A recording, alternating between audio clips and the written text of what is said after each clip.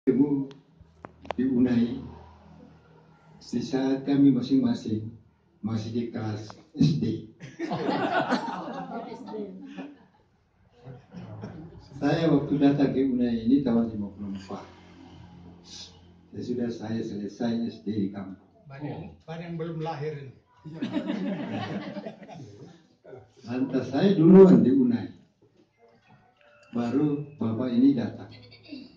Kalau saya tidak salah, mungkin di bawah dua tahun.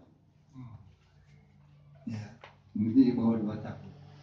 Tapi dia lebih tua dari saya. Dia lebih tua tiga tahun. Lebih tua tiga tahun.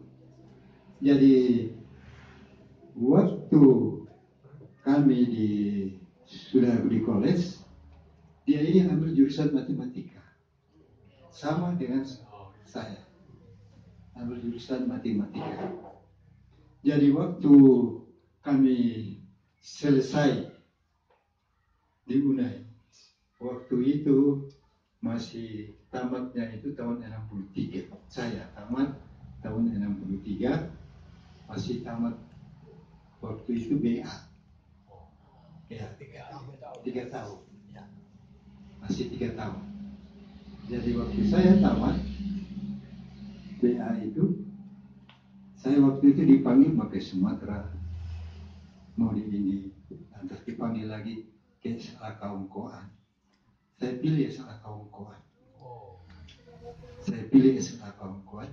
Dan selama saya di Unai, inilah sahabat saya paling dekat. Dan di dalam kehidupan perjalanan kami, saya ini sudah anggap dia sebagai kakak. Jadi saya kenal Pak Katemba ini, dan saya kenal juga Ibu Katemba. Ibu Katemba ini datang belakangan. Dia datang belakangan. Jadi, waktu saya di Unai, orang tua saya itu petani. Dia hanya kirim kami tiga bersaudara sekaligus datang ke Unai ini.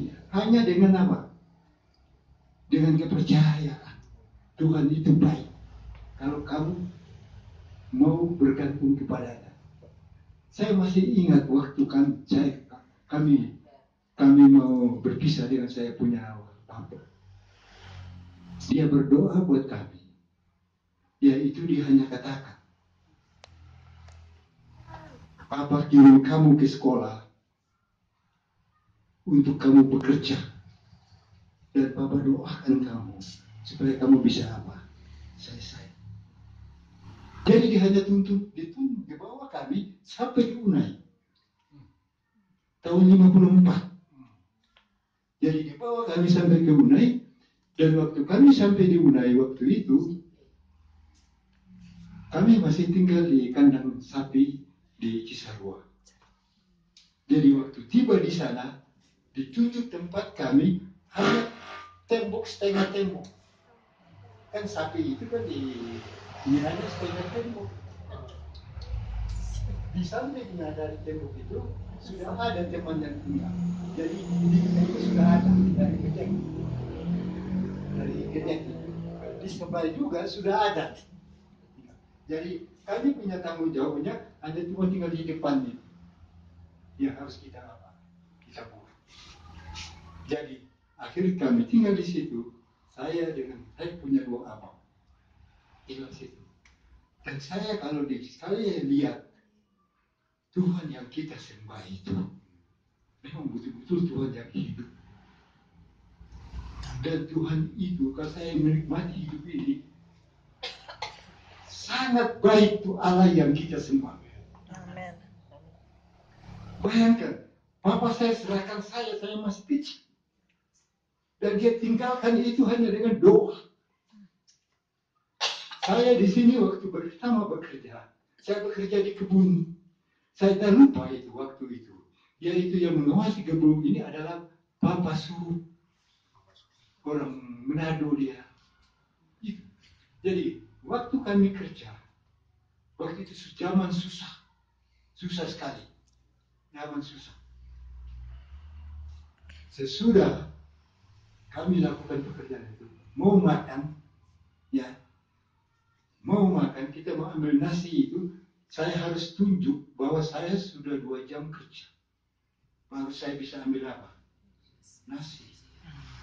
Untuk sore, sama. Saya harus tunjuk saya punya dua jam kerja.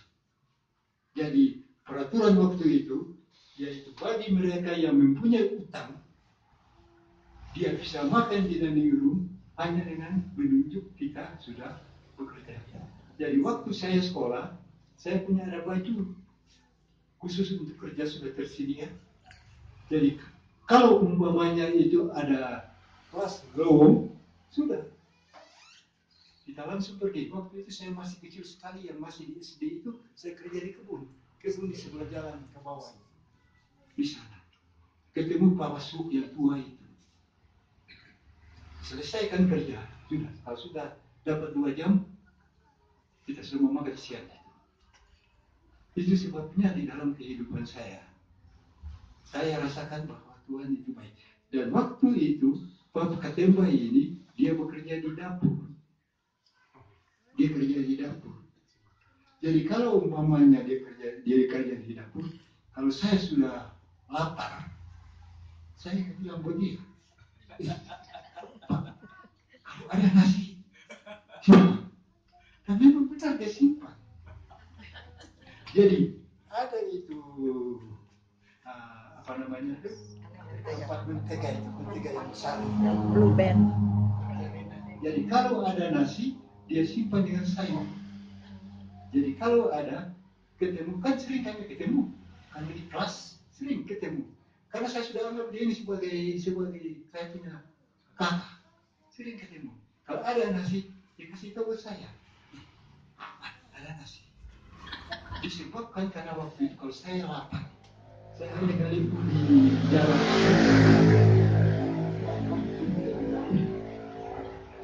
Makan wortel, makan lagi kol, kol itu bisa makan mentah. Ya. Dan kami bertiga, bayangkan kami bertiga selesai pada waktu. Saya punya abang itu pendeta, ya Demi, dan dia itu punya istri. Si Majuta, dan saya punya abang satu lagi, yaitu Albert, dia itu perawat. Dan juga dia dapat orang Batak juga. Mengusung. Ya, dan saya pendidikan. Dan kami semua bekerja di pekerjaan Tuhan. Amin. Karena buat saya doa orang tua itu sangat amat berkuasa. Itu sebabnya ini tempat ini nih, ini kampung saya ini.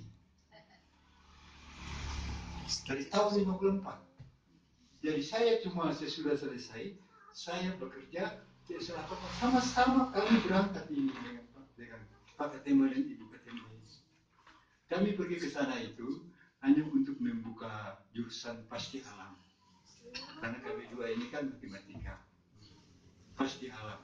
Jadi waktu kami pergi ke sana ke sana kawan Ke sana kawan itu sudah dibuka tahun 52 dan baru satu tahun sekolah itu jalan. Baru satu tahun sekolah itu jalan. Itu sebabnya saya dengan Pak Ketemba ini kami bekerja dari tahun 63 sampai tahun 50 eh saya start tahun 60 sudah mau tahun 69 saya tinggalkan setelah saya datang ke Inai untuk ambil tahun yang terakhir supaya saya dapat sarjana. Karena waktu itu saya punya rencana. Saya harus dulu dapat uh, S2-nya, baru saya kawin. Itu rencana saya. Ya, itu sebabnya sesudah saya kerja di sini di Unai, sesudah saya tamat, saya dipanggil sama pendeta baru waktu itu ketua Uni di Uni Timur untuk pimpin seakal. Tapi saya tidak mau. Saya tolak itu karena saya punya rencana mau ke. Saya punya rencana mau ke Itu sebabnya saya tolak itu, akhirnya saya pilih bukan ke NSDS, melainkan saya pergi, saya pilih ke Purdadi. Jadi waktu saya di Purdadi, baru Pur- dari Purdadi itu, dari ah saya sudah lupa itu tempat tinggalnya itu pertama di kampung. Kami itulah yang pertama pindah ke Lawang ini, yang tempat sekarang. Kami sama sana. Jadi saya lihat bahwa dan waktu saya di Purwodadi, saya ketemu dengan Jenny, Jenny Saeran dan Jenny Lalu. Kami sama-sama dulu di Yunan ini dengan Jenny Saeran ini. Kalau ibu ini Iya, perawat, Om Edi Saerang sama dia Jenny sama-sama Saerang dengan sama abang saya. Ya, dia sama-sama dengan abang saya, yaitu Albert. Itu sebabnya waktu tiba di Isla Kongkoan, Itulah teman-teman. Itulah teman-teman. Dan kebanyakan dari waktu kami di Selakongkuan itu adalah teman-teman dari Unai ini. Si Jenny, si Pumus, si Kairupan. Nah, kami banyak di sana. Itu waktu itu yang sambil saling apa? Saling mengenal. Dan Katemba jadi akhirnya saya tinggalkan di Selakongkuan Pak Katemba ini teruskan di apa? Di di Manado. Dan akhirnya dia jadi pendeta. Tapi saya tetap jadi apa? Jadi guru. Dan orang ini kerja keras. Dan apa yang dia sudah mau dan dia lakukan. Dan dia berani lakukan sesuatu yang dia tahu itu benar. Ini saya kenal sekali. Jadi waktu saya dengar dia pensiun saya sebenarnya senang sekali untuk dia datang ke Unai.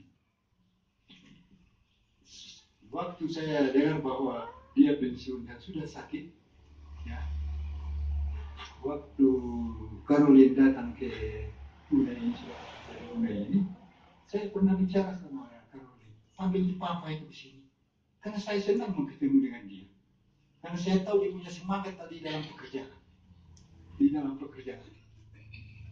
Jadi itu sebabnya saya senang sekali. Jadi itu sebabnya saya desak-desak. Saya desak-desak. Saya telepon itu saya minta supaya mereka datang. Dan benar. Mereka datang ke sini.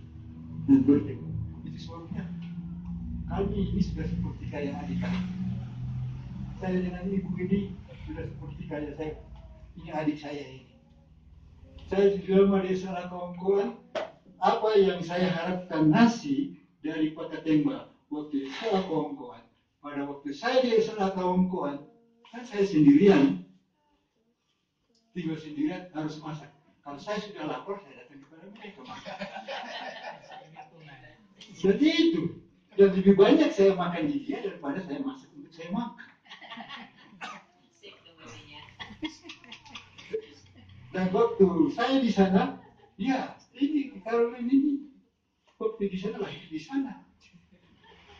Dan di sana dia saya tahu sekali. Saya tahu sekali. Saya hanya tahu Caroline tapi kalau Ellen. saya sudah tidak ada. Dan saya sudah tidak ada. Itu sebabnya saya mau katakan ini adalah abang saya. Dia adalah seorang pengerja yang luar biasa dia mempunyai pengalaman yang sangat banyak di dalam pendidikan. Dia itu mulai kami mengajar di sana mulai dari SMP, SMA, dan akhirnya dia juga menjadi kepala sekolah dari kaum kuat. Dia juga menjadi kepala sekolah di sekolah kita di Toraja. Dan di mana di saat dia pegang itu selalu ada pembaharuan.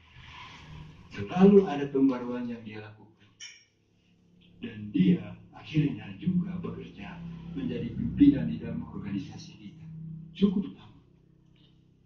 Cukup lama. Kalau saya dengar ceritanya, dia sampai tiga kali mempunyai kesempatan untuk duduk di uni. Tiga kali. Dia sudah dihentikan, dipanggil sudah diberhentikan. Dia panggil Dalam semangat.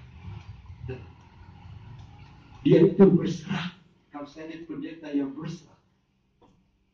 Ini. Jadi kita saya berterima kasih. Di saat kami mulai dari SD, bekerja bersama-sama.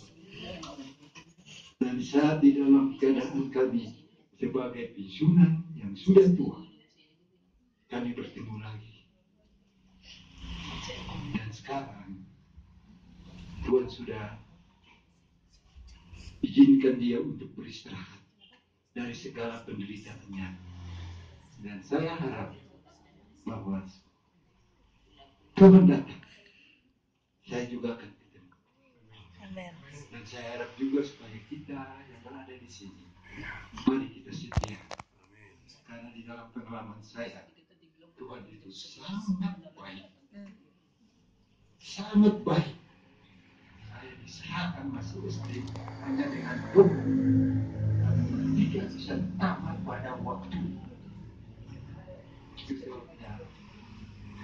mari kita setia supaya bukan pertemuan saja yang kita ketemu di sini, tetapi kita akan ketemu juga di mana?